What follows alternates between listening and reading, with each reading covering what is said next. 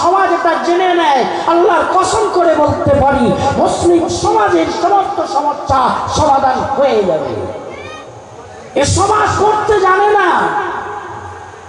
দয়াল নবী, আমি তো একটা একটা আয়াত লাঞ্ছিত, তার একটা একটা হাদিস বঞ্চিত। আমরা আয়াত পড়ি না, হাদিস পড়ি না। পড়ার সময় মুসলমানদের কাছে নেই। শুনলেন? শোনানে দারমি শরীফের একটা হাদিস আপনাদেরকে বলে যাই। মেসকাজ শরীফে এই অধ্যায়ে সম্ভবত একত্রিশ কি বত্রিশ নম্বর পৃষ্ঠা এটা লেখা আছে। আল্লাহর হাবিব মসজিদের নবমীতে আসছেন। মসজিদে নবমীর একেবারে সামনে চলে এসেছেন, দরওয়াজার কাছে এসেছেন, দেখছেন মসজিদের মধ্যে এক সাইডে কিছু মানুষ ইবাদত মশগুল, নকল ইবাদত করছে। কেউ নামাজ পড়ছে, কেউ তিলাবাত করছে, কেউ আল্লাহ আল্লাহ করছে, তসবি তিলাবাত করছে আরেক সাইডে কিছু মানুষ তালিমের হালকা লাগিয়েছে, শেখা শেখানোর মেহনত করছে। দয়া নবী আমার থমকে দাঁড়িয়ে গেলে তিনি জানেন, আমি নবী, উম্মত আমাকে ফলো করি। আমি মসজিদে নববীতে প্রবেশ করতে চলেছি। মসজিদে প্রবেশ করে কোন জামাতের সাথে সামিল হব? যারা ইবাদত করছে এদের সাথে ইবাদতে মশগুল হব? নাকি যারা মসজিদে বসে শেখা শেখানোর মেহনত করছে, এদের সাথে তালিমের হালকায় বসে যাবে আল্লাহর হাবিব ভাবছেন, জিব্রাইলের শুভাগমন হলো। আল্লাহ রাব্বুল আলমিনের পক্ষ থেকে ইশারা মিলল, নবীজি আমার মসজিদে প্রবেশ করলেন। মসজিদের একদম মাঝখানে দাঁড়িয়ে কি বলছেন জানেন? বললেন, কিলাহুমা আলাল খাইর। আমি আল্লাহর রাসূল বলছি, উভয় জামাত ভালো কাজ করছে, যারা নফল ইবাদতে মশগুল আছে, অবশ্যই এরা ভালো কাজ করছে। আল্লাহ তার বান্দাদেরকে সৃষ্টি করেছেন ইবাদতের জন্য। আর যারা মসজিদে শেখা শেখানোর মেহনত করছে, এরাও ভালো কাজ করছে। কেননা শেখা শেখানোর মেহনত যদি না হয়, মানুষ জানতে পারবে না, জানতে না পারলে আমল করার সুযোগ ঘটবে না। কিলাহুমা আলাল উভয় জামাত ভালো কাজ করছে। তবে আহাদুহুমা আফজালু মিন সাহিবিহি। আল্লাহর হাবিব বলছেন, উভয় জামাতের সওয়াব কিন্তু সমান নয়। ফজিলত সমান নয়, গুরুত্ব সমান নয় সওয়াব সমান নয়। একটা জামাতের ফজিলত আর একটা জামাতের থেকে বেশি আছে। আল্লাহর হাবিব বললেন, যারা মসজিদে ইবাদত করছে। আল্লাহ চাইলে এদেরকে সওয়াব দেবেন, ইবাদত কবুল করবেন। তবে ইন্নামা বইস্তু মুআল্লিমান। আমি নবী বিশ্ব মাজারে এসেছি তালিম দেওয়ার জন্য, বিশ্বকে শেখানোর জন্য। বলেন সুবহানাল্লাহ। এই বলে আল্লাহর হাবিব তাদের মজলিসে বসে গেলেন যারা মসজিদে শেখা শেখানোর মেহনত করছিল। সোনানে দারমি শরীফের হাদিস বললেন আল্লাহর হাবিবের মজলিসে শেখানোর বড় গুরুত্ব ছিল। এবং তিনি শেখাতেন, তার পদ্ধতি, তার স্টাইল তার ধরন। আমাদের যুগের এই উন্নত যুগের শিক্ষাবিদদের মতো ছিল না। তিনি তো নিরক্ষর। পৃথিবীর কোনো স্কুল কলেজে তিনি পড়েননি তিনি শিখেছেন, পড়েছেন আল্লাহ রব্বুল আলমিনের কাছ থেকে। তাহলে তার পড়ানোর ধরন কি আমাদের মতো হবে নাকি? হ্যাঁ না। আমাদের পড়ার ধরনটা কি? Nursery, class one, two, three, four. হতে হতে অনেকটা এগিয়ে গেছে কলেজ, তারপর ইউনিভার্সিটি। যদি ইউনিভার্সিটির কোনো ছাত্রকে ক্লাস ওয়ানের ক্লাসরুমে বসিয়ে দেওয়া হয়, মনে করবে সময় নষ্ট হচ্ছে। আর ক্লাস ওয়ানের ছেলেকে যদি ইউনিভার্সিটির লেকচার হোমে বসিয়ে দেওয়া হয়, তাহলে সে বলবে, হচ্ছেটা কি? কিছু বুঝবে না। দয়াল নবীর মজলিস তো এরকম ছিল না। আল্লাহর হাবিবের মজলিসে বসে থাকতেন হজরত আবু বকরের মতন ব্যবসায়ী। হজরত অমরের মতন জল্লাদ হজরত উসমানের মতন মালদার হজরত আলীর মতন শেরে খোদা হজরত হাসান হুসাইনের মতন বাচ্চা, সালমান ফার্সির মতো আড়াইশো বছরের চুল দাড়ি পাকা বুড়ো। খেয়াল করেছেন? রাজার ছেলে, পারস্য থেকে এসেছেন, বাপ অগ্নি পূজক আগুন পুজো ভালো লাগেনি, মদিনাতে এসেছেন আড়াইশো বছর বয়স পেয়েছেন। ওই চুল দাড়ি পাকা বুড়োটা বসে, পাশে আবার হাসান হুসাইনের মতন বাচ্চা বসে। ওই মজলিসে বসে, বেলালে হাফসির মতন গোলাম, আবার তার পাশে বসে মুসাব বিন উমায়ের মতন লাট সাহেব। মুসাব বিন উমায়ের আরবের এক নম্বর লাট সাহেব। সকালে যে কাপড় পরেন, সন্ধ্যায় সে কাপড় পরেন না, সন্ধ্যায় যে কাপড় পরেন সকালে সে কাপড় পরেন না। যে কাপড় জীবনে একবার পরেন, দ্বিতীয়বার পরেন না। ইমান গ্রহণ করেছেন, মক্কা থেকে হিজরত করে মদিনাতে এসেছেন দয়ান নবী মসজিদে বসে আছেন, মুসাব বিন উমায়ের ইমানের খাতিরে সব কিছু ছেড়ে দিয়েছেন। একটা চট দিয়ে নিজের সতরটাকে ঢেকে আল্লাহর হাবিবের কাছে মসজিদে নবমীতে হাজির হয়ে গেছেন। এ দৃশ্য দেখে আল্লাহর হাবিব অঝর নয়নে কেঁদেছিলেন আমার মুসাব বিন উমায়ের ইমানের জন্য আরবের সব থেকে বড় সাহেব সব কিছুকে করে দিয়েছে। সুবহানাল্লাহ। আর যেখানে নবীর মজলিসে হাফসার বেলাল বসে, তার পাশে মুসাব বিন মতন লাট সাহেব বসে। ওখানে বসে হাসান বিন সাবিতের মতন কবি, আরবের এক নম্বর কবি হাসান বিন সাবিত ওখানে বসে। আবার আরবের এক নম্বর ডাকাত আবুজার গেফারি তিনিও বসে তবে উনি এখন ডাকাত নন। দয়ার নবীর মজলিসে বসে আছেন। হাতে আছে জান্নাতের সার্টিফিকেট বলুন প্যারে হাজিরেন আমি বলছিলাম, সব রকমের মানুষ যে মজলিসে বসে, সেই মজলিসে আল্লাহর হাবিব আল কোরআনের একটা একটা আয়াত শোনাতেন আর একটা একটা হাদিস ইরশাদ করতেন। আমাদের কাছে সেই আয়াতগুলো সংরক্ষিত আর সেই হাদিসগুলো সংরক্ষিত। আর যদি কারও ভাগ্য ভালো হয়, তাহলে আয়াতগুলো পড়বে, আমল করবে। হাদিসগুলো পড়বে, আমল করবে। আল্লাহর হাবিবের এই ছোট্ট ছোট্ট হাদিসের মধ্যে এমন কিছু হেদায়েত রাখা আছে। আর যদি আমরা একটা একটা হাদিসকে বুকে জড়িয়ে ধরি, আল্লাহর কসম, আমাদের নাজাতের জন্য যথেষ্ট হয়ে যাবে বলুন ইনশা আল্লাহ প্রয়োজন আছে। দয়ার নবীর হাদিসগুলোকে ফলো করা। আমি আরেকটু খুলে বলছি। আল্লাহর হাবিবের মজলিসটা কেমন ছিল? যেহেতু বক্তব্যের ডাকে আমরা এসেছি। দয়ার নবী পড়াতেন তো কীভাবে? আমি একটু আগেই বলছিলাম, তিনি পড়েছেন আল্লাহর কাছে। কোন সৃষ্টির কাছে পড়াশোনা করেননি। শিখেছেন তো আল্লাহর কাছে। তার স্টাইল তার ধরন, তার পদ্ধতি, তার তালিমের সিস্টেমটা কেমন ছিল? আমি আপনাদের কাছে একটা দুটো উদাহরণ তুলে ধরব। এর বিশদ বিবরণ যদি জানতে চান, তাহলে বোখারি শরীফ খণ্ড নম্বর এক। অধ্যায়ের নাম কিতাবুল এলেন শিক্ষা অধ্যায় পড়ে দেখবেন। ইমাম বুখারি আমাদের চোখে আঙুল দিয়ে দেখিয়ে গেছেন। দয়ার নবী, পড়ানোর ধরনটা কেমন ছিল? একটা উদাহরণ। সহি বুখারি একষট্টি, বাষট্টি ও বাহাত্তর। তিনটে হাদিসের কথা বললাম। এই অধ্যায়ে তিন জায়গায় লেখা আছে। একষট্টি, বাষট্টি আর বাহাত্তর নম্বর হাদিস। এছাড়া বোখারিতে আরও অন্যান্য জায়গায় আরও তিন জায়গায় আছে মোট ছয় জায়গায় হাদিসটা লেখা আছে। আল্লাহর হাবিবের দস্তরখানা মসজিদে নববীতে বিছানো ছিল। ওই দস্তরখানায় খেজুর গাছের মাটি খাওয়া হচ্ছিল খেজুর গাছের মাটি আরব দেশ, খেজুরের দেশ, খেজুর গাছের মাটি খাওয়া হচ্ছে। এমত অবস্থায় আল্লাহ হাবিব বলছেন, বলো তো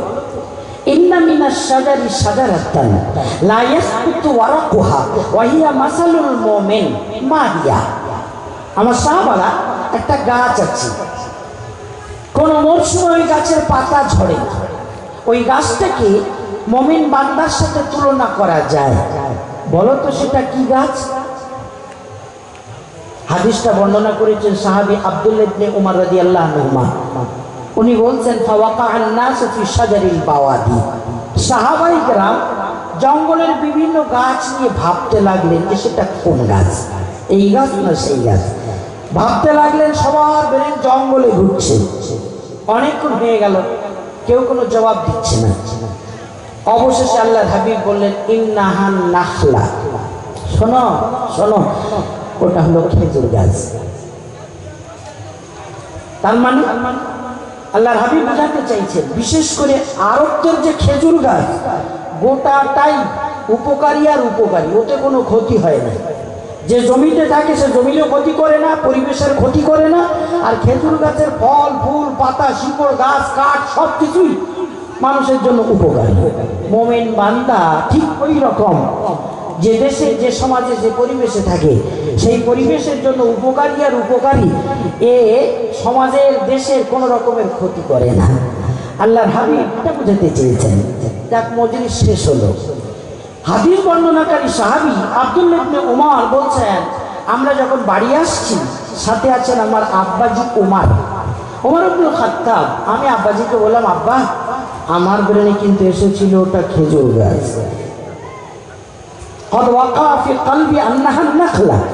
আমার ব্রেনে এসেছিল ওটা খেজুর গাছ। হযরত ইবনে ওমর রাদিয়াল্লাহু আনহুমা যখন আব্বাকে বললেন, আব্বা, আমার ব্রেনে এসেছিল ওটা খেজুর গাছ, তো হযরত ওমর থমকে দাঁড়ালেন। বলেন বেটা, বলা উচিত ছিল তুমি বলনি কেন? ইবনে ওমর রাদিয়াল্লাহু আনহুমা বললেন আব্বা, ওই মজলিসে আপনি আছেন, আপনার মতন বড় মানুষ। হযরত আবু বকরের মতন বিশিষ্ট সাহাবী। ওই মজলিসে আমি সব থেকে ছোট ছিলাম। তাহলে আমি যদি বলতাম, তাহলে ছোট মুখে বড় কথা হতো। বিয়াদুবি হয়ে যেত। আপনাদের বড়দের দিকে তাকিয়ে আমি আর মুখ খুলি হজরত ওমর আব্দুল খত্তাব বললেন, বেটা, তুমি যদি বলতে, তাহলে আমার জন্য লাল লাল উঠ যেটা সে জামানায় আরবদের মূল ধর্ম মনে করা হতো। বললেন লাল লাল উঠ অসংখ্য পরিমাণে মিলে যাওয়ার থেকেও বেশি আনন্দের হতো। যদি তুমি বলতে পারতে, আমি গর্ব করতাম আমার ছেলে, ছোট্ট বাচ্চা, আবদুল্লাহ, ও বলতে পেরেছে, যখন বড়রা কেউ বলতে পারেনি, ইতিহাস হয়ে থাকতো। ইমাম বুখারি এই ইলমু অধ্যায়ে তিন জায়গায় বর্ণনা করেছেন। কি শিক্ষা দিয়েছেন জানেন? বলছেন একবিংশ শতাব্দীতে আজকের এই চরম উন্নতির যুগে শিক্ষাবিদেরা বলছে, শিক্ষা দানের সব থেকে সহজ সরল পদ্ধতি কোশ্চেনিং মাধ্যম, প্রশ্নোত্তর মাধ্যম। তার মানে শিক্ষক ছাত্রদের সামনে প্রশ্ন ছুড়ে দেবেন। আর ছাত্ররা জবাব দেওয়ার চেষ্টা করবে তারা চিন্তা ভাবনা করবে তাদের উদ্ভাবনী ক্ষমতার বিকাশ ঘটবে। জবাব দিতে পারলে তাদেরকে বাহবা দেবে। জবাব দিতে না পারলে শিক্ষক বলে দেবে। এই শিক্ষাদানের সহজতম পদ্ধতি হিসাবে বিবেচনা করা হচ্ছে প্রশ্নোত্তর মাধ্যম কোশ্চেনিং মাধ্যম। আল্লাহর হাবিব দেড় হাজার বছর আগে মসজিদে নবমীতে যেভাবে প্রশ্নোত্তরের মাধ্যমে শেখাচ্ছেন, আজকে দেড় হাজার বছর পরে একবিংশ শতাব্দীতে এসে শিক্ষাবিদদের ওই কলতে সেটা হলো অত্যাধুনিক সিস্টেম একবার সুবহানাল্লাহ বলবেন না? আল্লাহর হাবিবের দেড় হাজার বছর আগেকার তরিকা আজকের হলো অত্যাধুনিক সিস্টেম ছাত্রদের পড়ানোর সহজলভ্য তরিকা সব থেকে উপকারী তরিকা, তাদেরকে প্রশ্ন করো, বলতে পারলে বাহবা দাও, বলতে না পারলে তুমি বলে দাও। এই প্রশ্নোত্তরের মাধ্যমে শেখানো আল্লাহর হাবিব দেড় হাজার বছর আগে কিন্তু ওটা করে গেছে এখন শিক্ষাবিদেরা বলছে এটা হচ্ছে অত্যাধুনিক সিস্টেম তেমনই। শিক্ষাবিদেরা, বর্তমান যুগের শিক্ষাবিদেরা বলছেন শিক্ষা দানের একটা সহজলভ্য পন্থা হলো বনভোজনের মাধ্যমে শেখানো, বনভোজন। শিক্ষক ছাত্রদের নিয়ে, শিক্ষিকা ছাত্রীদেরকে নিয়ে বন জঙ্গলে চলে যায়। বৃষ্টি চলে, খাওয়া দাওয়া হয়, খাওয়া দাওয়ার মাঝে খেতে ধুতে তাদেরকে শেখাও। আল্লাহর হাবিবের মসজিদে নবমীতে দস্তরখানা বিছানো, খেজুর গাছের মাটি খাওয়া হচ্ছে। খেতে খেতে আল্লাহর হাবিব শিক্ষা দিচ্ছেন। দয়ার নবীর স্কুল চলছে, মাদ্রাসা চলছে, মক্তব চলছে, তালিমের হালকা চলছে, খাওয়াও হচ্ছে। বনভোজনের মাধ্যমে দয়ার নবী শিক্ষা দিচ্ছেন। দেড় হাজার বছর আগেকার পদ্ধতি। আজ একবিংশ শতাব্দীতে এটা নাকি শিক্ষাদানের অত্যাধুনিক সিস্টেম বেড়ে গেছে। প্যারে হাজিরি এমনিভাবে এই হাদিস থেকে বারোটা এমন পয়েন্ট উদ্ধার করা হয়েছে। যেটা দেড় হাজার বছর আগে আল্লাহর হাবিব করেছেন, আর আজকে বলা হচ্ছে যেটা হচ্ছে অত্যাধুনিক, এটাই হচ্ছে সব থেকে সহজলভ্য পন্থা শিক্ষাদানের এই জন্যই আল্লাহ হাবিব বলছেন ও ইন্নামা বরিস্তু মুআল্লিমান। আমি এসেছি মুআল্লিম হয়ে, আমি এসেছি জগৎগুরু বিশ্বগুরু হয়ে। তুমি স্কুল, কলেজে ভার্সিটি অধ্যাপক হতে পারো, আমি রসুল তোমার অধ্যাপক। কীভাবে তুমি অধ্যাপনা করবে? কীভাবে তুমি শিক্ষা দেবে? আমি রসুল সে পদ্ধতি বলে দেবো, বলুন হাজিরি, আমি আপনাদেরকে বলব, আপনারা কেউ যদি মিসকাত শরীফ পড়ে থাকেন, দেখবেন শরীফে সলাপ অধ্যায়, নামাজ অধ্যায়, একটা হাদিস লেখা আছে। দয়াল নবী শাহবাদের জামাত নিয়ে রাস্তা দিয়ে যাচ্ছেন। পাতা ঝরার মরশুম ছিল। গাছ থেকে পাতা ঝরে ঝরে পড়ছিল। আল্লাহর হাবিব হঠাৎ দাঁড়িয়ে গেলেন। একটা গাছের দুটো ডাল ধরে নাড়া দিলেন। পাতাগুলো আরও ঝরে পড়তে লাগল। পাশে দাঁড়িয়ে আবুজার আল্লাহ রাবি বলছেন, "এই আবুজার আমি রসুল হঠাৎ কেন দাঁড়িয়ে গেলাম? কেন গাছের দুটো ডাল ধরে নাড়া দিলাম? জিজ্ঞেস করছ না কেন? আবুজার গেফারি সহ অন্যান্য সাহাবারা বললেন, আল্লাহর হাবিব আমরা তাই ভাবছি। আল্লাহর হাবিব হঠাৎ দাঁড়িয়ে গেলেন আর গাছের দুটো ডাল ধরে নাড়া দিচ্ছেন, ব্যাপারটা কি? আল্লাহর হাবিব বলেন এখনই জিব্রাইল এসে আমাকে বলে গেল, হে রসুল, আপনার উন্মতকে বার্তা দেন মেসেজ দেন, সুসংবাদ দেন যখন কোনো মোমেন বান্দা, বান্দি নামাজের নিয়ত বেটে যায় নামাজে, মুসল্লায় দাঁড়িয়ে যায়, তার আমল নামা থেকে গুণা খাতা ওই রকম ঝরে পড়ে, যেমন আপনার নাড়া দেওয়ার পরে এই ডাল দুটোর পাতা ঝরে পড়ছিল। হানাফি মহাদ্দিস। মোল্লা আলী কারি রাহিমহল্লা এই হাদিসটার ব্যাখ্যা করতে যে কয়েক ডজন গুরুত্বপূর্ণ পয়েন্ট উদ্ধার করেছেন। বলেন, উম্মত, আল্লাহর হাবিবের শেখানোর স্টাইলটা দেখো। দয়াল নবী রাস্তায় চলতে চলতে দাঁড়িয়ে গেলেন আর একটা মৌখিক জিনিসকে কীভাবে মানুষের চোখে আঙুল দিয়ে দেখিয়ে দিচ্ছেন? এই জন্যই হাসান হোসেন যেমন বুঝতেন, ছোট্ট বাচ্চা, আড়াইশো বছরের চুলদারি পাতা বুড়ো সালমান ফাসি ইনিও তেমন বুঝতেন। আল্লাহর হাবিবের এই হাদিস নিয়ে গবেষণা করো। মোল্লা আলী কালী বলছেন, একদিন দুই দিন নয়, সপ্তাহ কি সপ্তাহ? দয়ার নবীর হাদিসটাকে নিয়ে গবেষণা করো? দেখবে কত সুন্দর সুন্দর তথ্য রাখা আছে। একটা তথ্যের কথা আপনাদেরকে বলে যাই। মোল্লা আলী কালী রাহিমহল্লা বলছেন বললেন এতে প্রথম তথ্য। আল্লাহর হাবিব গাছের ডাল ধরে নাড়া দিলেন। পাতা ঝরে পড়ছে। বললেন, কোন মমিন বান্দা, বান্দি যখন মুসল্লায় দাঁড়িয়ে যায়, তখন তার আমল নামা থেকে গুণা খাতা এইরকম ঝরে পড়ে, যেমন নাড়া দেওয়ার পর গাছের ডাল থেকে পাতাগুলো ঝরে পড়ছে। মোল্লা আলী কাজী বলছেন, খেয়াল করে দেখবে পাতা ঝরার মরশুম যখন আসে গাছগাছালি তিন ভাগে বিভক্ত হয়। এক রকমের গাছ আছে, কোনো মরশুমের তোয়াক্কা করে না। যেমন নারকেল গাছ, তাল গাছ, খেজুর গাছ। কোন মরশুম এলে এদের পাতা ঝরবে? না কার সাহায্য কুলায়? এরা কোনো পাতা ফেলবে না। নিজের যুগ মতন। আর এক ধরনের গাছ আছে। মরশুম এলে কিছু পাতা ঝরে, কিছু পাতা রয়ে যায়। আম গাছ, জাম গাছ। আবার এক ধরনের গাছ আছে মরশুম এলে সব পাতা ঝরে যায়। ডাল কটা নিয়ে দাঁড়িয়ে থাকে, যেমন আমরা গাছ। মোল্লা আলী কারি বলছেন, নামাজি ঠিক ওই রকম তিন রকমের আছে। এক ধরনের নামাজি আছে, খুব কপাল ঠকে কিন্তু তাল গাছ, নারকেল গাছ, খেজুর গাছ মার্কা, ওদের কোনো পাতা টাতা ধরে না। নামাজ পড়ে গোনা ঝরে না। আবার এক ধরনের মুসল্লি আছে, আম গাছ, জাম গাছ মার্কা নামাজ পড়ে। মানে কিছু পাতা ঝরে, কিছু পাতা রয়ে যায়। কিছু গোনা মাফ হয় আর কিছু গোনা রয়ে যায়। বললেন, তবে কিছু নামাজি আছে, তৃতীয় প্রকার। আমরা গাছ মার্কা নামাজ পড়ে। দুই রাকাত নামাজ পড়ে যখন সালাম ফেরায়, আমল নামায় কোনো গুণা খতা বাকি থাকে না। বলেন সুবহানাল্লাহ।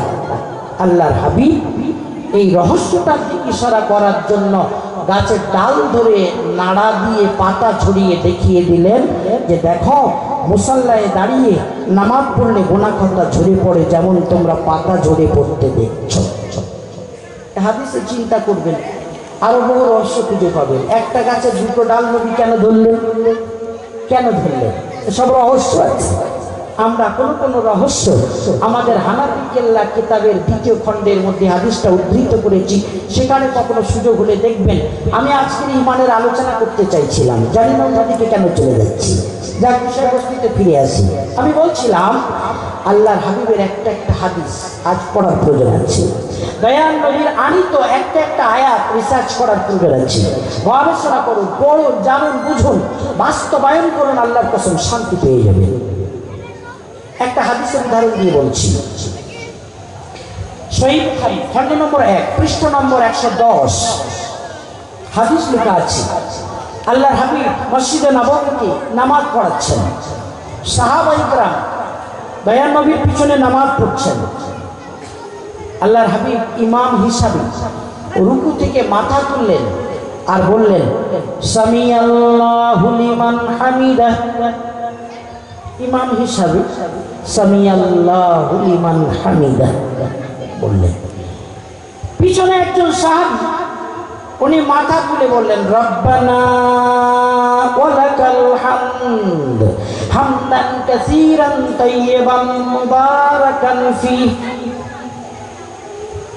এই দোয়াটা পড়লেন। আল্লাহ হাবিব নামাজ শেষ করলেন। সালাম ফিরিয়ে বললেন, মানিল মুতাকাল্লিম, এই দোয়াটা কে পড়েছ? সাহাবি বলেন আনাইয়া রসুল্লাহ আল্লাহ হাবিব, আমি পড়েছি। দয়াল নবী বললেন, শোনো তুমি যখন ওই দোয়াটা পড়লে, আমি দেখলাম আসমান থেকে তিরিশ জনেরও বেশি ফেরেস্তা নাজিল হয়েছে। তারা দৌড়ে আসছে। এই কলেমাটাকে, এই দোয়াটাকে নিয়ে আল্লাহর কাছে জমা করবে তাই। বলুন আল্লাহ নামাজ পড়েন। এই দোয়াটা কোনোদিন শুনেছেন? কোনোদিন পড়েছেন? সহি বুখারিতে দোয়াটা বর্ণিত আছে। এমন একটা দোয়া যে দোয়াটা পড়লে তিরিশ জনেরও বেশি ফেরেস্তা নাজিল হয় আসমান থেকে, এই দোয়াটা নিয়ে আল্লাহর কাছে গিয়ে জমা করবে তাই। আমল করবে কে? কার মুখস্থ আছে দোয়া? আল্লাহর হাবিবের এত বড় সম্পদ আমাদের থেকে হাত ছাড়া হয়। আমরা কিতাব সুন্নাহ পড়ি না, মাসলা মাসাইলের বই পড়ি না, পড়ার মানসিকতা নেই। সুতরাং এ ধরনের সম্পদ আমাদের হাত ছাড়া হয়ে যাচ্ছে। অনুমতি দিলে আমি আলোচনা করব। আমরা গ্রাম্য এলাকার মানুষেরা বিশেষভাবে যেভাবে নামাজ পড়ে থাকি, রুকু থেকে মাথা তুলে দাঁড়াই, সময় দিই না, সাজদায় চলে যাই। এক সাজদা থেকে মাথা তুলে বসি ঠিক মতো বসতে পারি না, সাজদায় চলে যাই। এইভাবে যদি কেউ ষাট বছরও নামাজ পড়ে, নামাজ হবে না। ফতোয়াটা শুনে না নামাজ পড়ছেন ষাট বছর। মাসালা আপনার জানা নেই, কপাল ঠোকা সার নামাজ হবে না। এটা হানাফি মাযহাবের ফতোয়া। এটা সহি বুখারীর ছয় জায়গায় বর্ণিত হাদিসের আলোকে দেওয়া ফতোয়া। সহি বুখারীতে ছয় জায়গায় লেখা আছে। আল্লাহর হাবিব মসজিদে নবমীতে বসে আছেন। তালিমের মজলিস চলছে। খাল্লাদ বিন রাফি একজন সাহাবী মসজিদে ঢুকেছেন। দুই রাখা দুকুলুল মসজিদ নামাজ পড়ছে। আমরা শুক্রবারে পড়ি না? বলি শুক্রবারের নামাজ। বাঙালি মুসলমানদের ফতোয়া। শুক্রবারে তাহিয়াতুল উজু দুকুলুল মসজিদ আরও কত কি নামাজ সব আছে। ওগুলো শুক্রবারের নামাজ নয় বন্ধু। আপনি যখনই মসজিদে প্রবেশ করবেন, মসজিদের সম্মানে দুই রাকাত নামাজ পড়ে নেন। আপনি যখনই উজু করবেন, আপনি উজুর সম্মানে দুই রাকাত নামাজ পড়ে নেন। যদি মকরু ওয়াক্ত না হয় তো। দুকুলুল মসজিদ। আল্লাহর হাবিব মসজিদে তালিম করছেন। খাল্লাদ মসজিদে দাখিল হয়েছেন। দুই রাকাত নামাজ পড়ে মজলিসে বসবেন। দুই রাকাত নামাজ পড়লেন আমাদের বাঙালিদের মতো রুকু করে দাঁড়িয়ে সাথে সাথে সাজদায়, সময় দিলেন না। সাজদা থেকে উঠে বসে আবার দ্বিতীয়বার সাজদায় চলে গেলেন, সময় দিলেন না। সালাম ফিরলেন। আল্লাহর হাবিবের মজলিসে যেয়ে বলছে, আসসালামু আলাইকা ইয়া রাসূলুল্লাহ। আল্লাহর হাবিব, আসসালামু আলাইকুম। আমি খাল্লাদ বিন রাফি এসেছি। দয়ার নবী গো, যদি অনুমতি হয় আপনার মজলিসে বসে যাই। আল্লাহর হাবিব বললেন, ইরজি ফাসাল্লি ফাইন্নাকা লাম তুসাল্লি। বিন রাফি চলে যাও চলে যাও। তুমি যে দুই রাকাত নামাজ পড়েছো, তোমার নামাজ আদায় হয়নি হয়নি। ইরজি ফাসাল্লি। যাও, ফিরে যাও। নামাজ পড়ো। সাহাবি চলে গেলেন। দুই রাকাত নামাজ পড়লেন। আগের মতো রুকু থেকে উঠে দাঁড়িয়ে সময় দিলেন না। বা সাজদায় চলে গেলেন। সাজদা থেকে উঠে বসলেন। সময় দিলেন না। আবার দ্বিতীয় সাজদায় চলে গেলেন। আমরা একশোর ভিতরে মূল বোধ হয় একশো শতাংশ বাঙালি এইরকমই নামাজ পড়ি।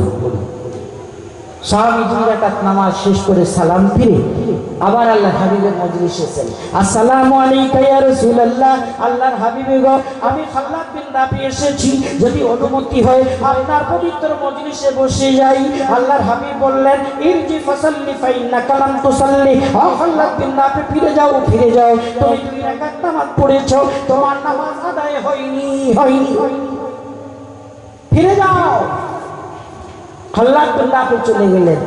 আবার দুই রেখাত নামাজ পড়েছেন। সে আগের মতো। ভয়ান নবী মজলিসে এসেছেন। বসার অনুমতি চাইলেন আল্লাহর হাবিব আবার ফিরিয়ে দিলেন। বলেন, এই যে ফাসাল্লি ফাইন্না কালাম তো তিনবার হয়ে গেছে। এবার সাহাবী বলছেন, ইয়া রাসূলুল্লাহ, লা উসিমু গায়রাহু, ফাআল্লিমনি। আমি এর থেকে ভালো নামাজ তো আর পড়তে পারিনি। আপনি আমাকে একটু শিখিয়ে দেন না? এখানেও রহস্য আছে।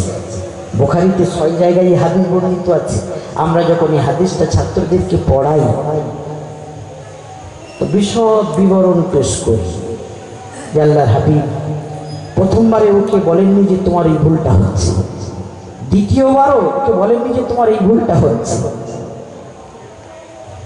এর কারণ হলো কোনো মানুষের ভিতরে তলব না থাকলে তাকে দিতে নেই। তলব নেই খাইশ নেই, ইচ্ছা নেই, আগ্রহ নেই, প্রশ্ন নেই। তাকে দিচ্ছেন উগড়ে দেবে, ফেলে দেবে। তৃতীয়বারে বলছেন, ইয়া রাসূলুল্লাহ, লা উসিনু গায়রাহু ফাআল্লিমনি। নবী গো, আমাকে দুই রাকাত নামাজ পড়ার তরিকা শিক্ষা দেন। আমি খাল্লাদ বিন এর থেকে ভালো নামাজ আদায় করতে পারি না পারি না। আল্লাহর হাবিব প্যারে নবী মোহাম্মদুর রাসূলুল্লাহ সাল্লাল্লাহু আলাইহি ওয়াসাল্লাম যখন বলেছিলেন, ও খাল্লাদ বিন রাফি তুমি দুই রাকাত নামাজ যখন পড়তে দাঁড়াবে, তড়িঘড়ি করবে না, ধীরে সুস্থে নামাজ আদায় করবে, বিশেষ করে রুকু থেকে যখন উঠে দাঁড়াবে, উঠে দাঁড়াও উঠে দাঁড়াও, মেরুদণ্ড সোজা হোক, হাত্তা তাড়াতা দিলা ইমান সোজা দাঁড়াও ধীরে স্থিরভাবে দাঁড়াও, তারপরে সাজদায় যাও। বললেন সাজদা থেকে মাথা মাথা তুলে বসেছ? তড়িঘড়ি করো না। হাত্তা তাত্মা ইন্না জালিসান। ধীরে সৃষ্টে বসো, তারপরে দ্বিতীয় সাজদাতে যাও। আমি বলছিলাম, বাঙালিরা নামাজ পড়ে রুকু থেকে মাথা তোলে মেরুদণ্ড সোজা করে না। সাজদা থেকে মাথা তোলে একটু বসার সময় পায় না। আবার সাজদায় চলে যায়, যেন পাকা ধানে গরু পড়েছে। এভাবে নামাজ হয় না। হানাফি মজাবের ফতোয়াও হলো তাই, তা দিলে আর কানটা ওয়াজিব। ইচ্ছা কিন্তু কেউ যদি ওই জায়গায় তড়িঘড়ি করে, তাহলে তার নামাজ হবে না। কমপক্ষে মেরুদণ্ড সোজা করে আপনি দোয়া না পড়েন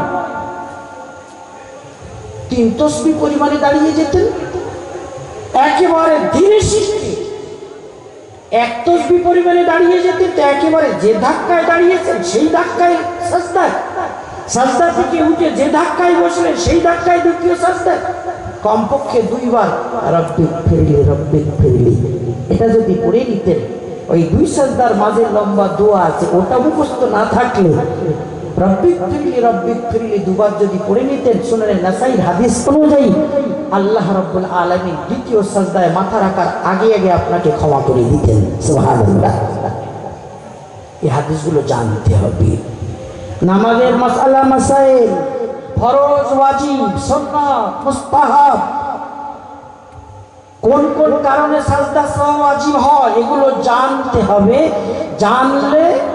আমল করার সুযোগ হবে, জানতে না পারলে কিন্তু মনে করবেন আমি ঠিকই আছি। অথচ ষাট বছর নামাজ পড়ছেন, আল্লাহর কাছে এক রাকাত নামাজও নথিভুক্ত হয়নি। এগুলো জানবেন ছোট ছোট হাদিস। ফজিলত অনেক বেশি আছে। আমি আপনাদের দৃষ্টি আকর্ষণ করতে চাইছি, এগুলো পড়বেন যেমন আরেকটা হাদিস বলছি। মোজামে কাবিরের হাদিস।